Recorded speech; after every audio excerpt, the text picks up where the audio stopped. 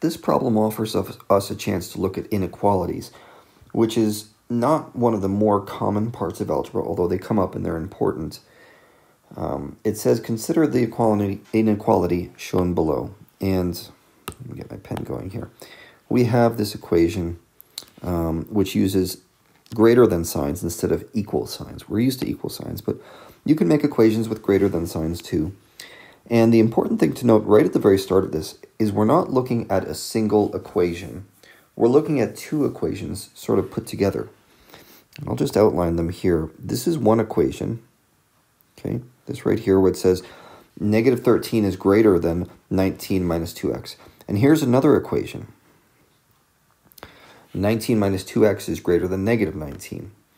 So if you're going to try and figure out which one of these um, which one of these statements is equivalent, it would help to think of the top statement as two equations in one. So let's try to solve them separately, and then we'll try to put it back together in one of these forms.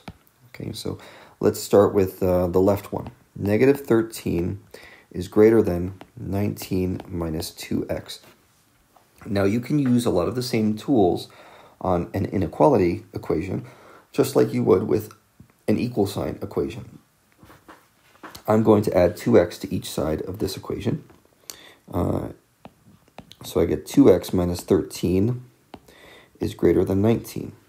And then I'm going to add 13 to each side. So I get 2x is greater than uh, 32, which means x is greater than 16 if I divide each side by 2. So let's put a box around that and just hold on to it.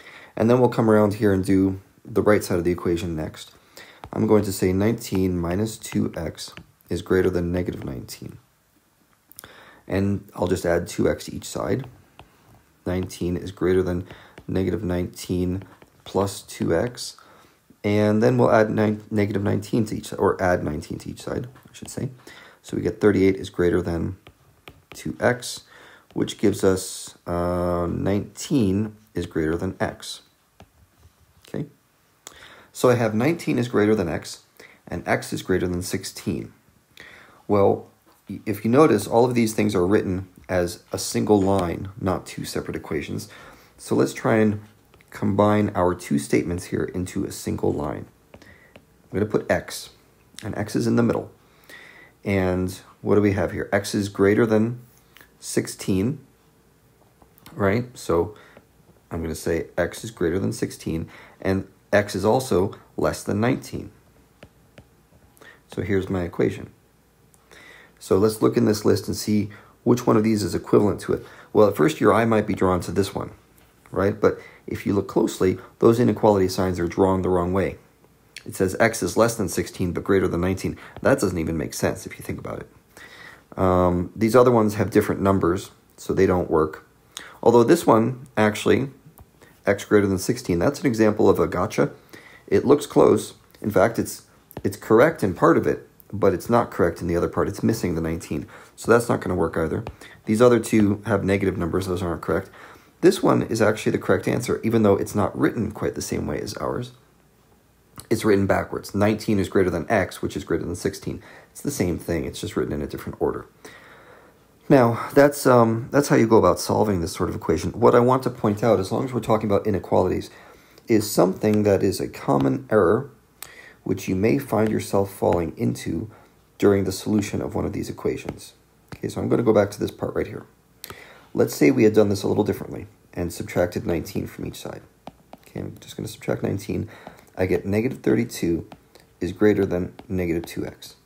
And now you might say, oh, well, I'll just divide each side by negative 2 and um, have my solution for x. So you would think this means x less than 16. Well, if you notice, that's actually the opposite of what we get. X should be greater than 16, not less than 16. And the reason for that is this. When you divide by a negative number, the inequality sign has to flip over. And it seems like I've always thought it was an arbitrary statement. It was hard for me to remember that, uh, which is why I generally don't divide by anything when I have an inequality. I take careful steps to avoid dividing by negatives in inequality equations, just so I don't mess myself up. I like adding to both sides. It's easier, and you don't ever run into this, uh, which way is the inequality supposed to be pointing problem. So, whichever way works for you, um, as long as you get to the answer in the end, that that's fine. Find a method that you're comfortable with. Uh, but I think the main point is inequalities like this have to be treated like two separate equations solved separately and then combined back together to figure out uh, your answer.